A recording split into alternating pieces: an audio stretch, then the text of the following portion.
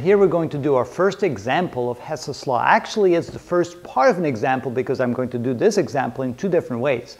The first way we're going to do like we did the previous video. We start off with an equation that we're trying to find its delta H for. The enthalpy change of that equation is, and we don't know because this is an equation that's very difficult to enact. But we have some example equations for which we can measure the change in enthalpy. For example, when we mix nitrogen gas and oxygen gas in the right uh, right quantities, we end up with nitrogen monoxide. If we have more oxygen than nitrogen and we mix them together, then we typically end up with nitrogen dioxide. The enthalpy change for the first reaction is a plus 183, which means it actually requires energy. You have to add that energy to the equation.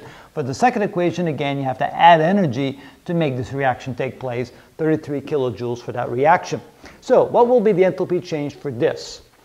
Well, let's see here we take a look at this equation, we notice we have nitrogen dioxide here. We look at these two equations, we notice we have nitrogen dioxide here. So let's take this equation right here. Let's number them. This is equation 1, and this is equation 2. But notice we only have one of these. We need two of those, so we're going to take 2 times equation number 2.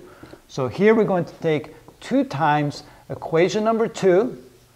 And when we do that, we end up with twice this thing right here. So it would be 1 mole of nitrogen gas plus 2 moles of oxygen gas, and that will then react and give us 2 moles of nitrogen dioxide gas.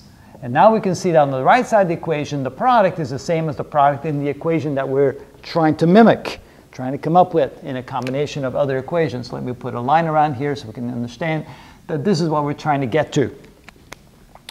Of course, in this case, since we're doing this equation twice, this will require twice 33 or 66 kilojoules. So the delta H is equal to plus 66 kilojoules because we took equation number two and we doubled it. That means we need double the energy to make this equation work out. All right, what I'm going to do now is I take a look here and I see nitrogen gas and two oxygen uh, moles of oxygen gas. Here I have nitrogen gas and oxygen gas. So, and since I need nitrogen monoxide on the left side as a reactant and I have nitrogen oxide over here, I've got a plan. Let's stick with it and see what happens. I'm going to separate these two and write this equation as follows. I'm going to write this as nitrogen gas uh, plus 1 mole of oxygen gas plus 1 mole of oxygen gas. So I have the same thing, I just wrote it separately produces 2 moles of nitrogen dioxide gas. And of course, in essence, nothing has changed, so my delta H is still plus 66 kilojoules. Now I'm going to add to that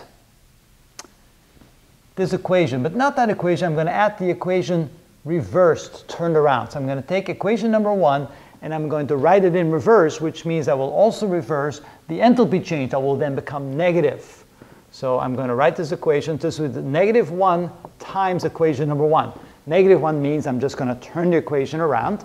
So I end up with uh, 2 nitrogen oxide gas, 2 moles of nitrogen oxide gas on the left side, reacting to give me 1 mole of nitrogen gas plus 1 mole of oxygen gas. And notice when I reverse the equation, I reverse the enthalpy uh, change, and so it will be a delta H equal to minus 183 kilojoules. Now, you say, why in the world did he do that? What is his plan? The plan is now to go ahead and add these two equations together. If I now add this equation and this equation together, look what we get. On the left side, so we're going to add these two equations together, so we get nitrogen gas plus oxygen gas plus oxygen gas plus 2 moles of nitrogen monoxide gas. And on the right side equation, all the products we end up with, on the right side we end up with 2 moles of nitrogen dioxide gas, 1 mole of nitrogen gas, and 1 mole of, and that should be nitrogen gas, a diatomic molecule, and oxygen gas. All right, and of course, when I add these two together, I have to add the enthalpy changes together. So that would be delta H is equal to minus 83 plus 66. If I subtract 6 from that, I get Uh, 123 minus 6, that would be a minus 117, whoop, 117 kilojoules.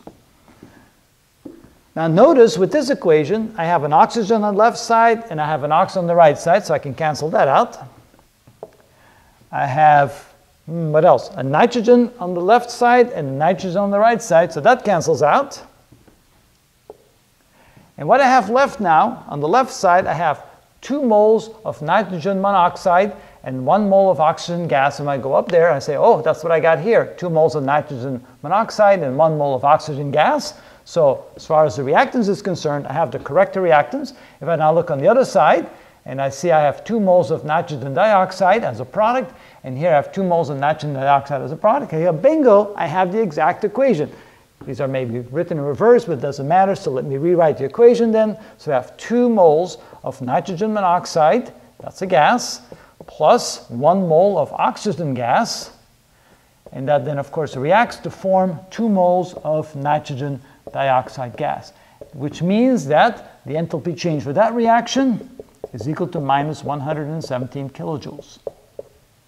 Is that slick or what? I like this. This is just like doing algebra, and somehow the equations come out, and we get the right delta H, the right enthalpy change.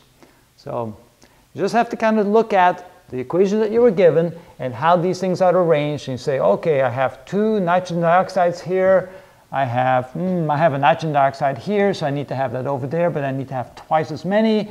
Multiply this times 2, put it here, bango, I have this to start with. And then you just keep adding and subtracting whatever combination of the given equations until things cancel out, and you end up with the right equation. So give it a try. See if you can duplicate that.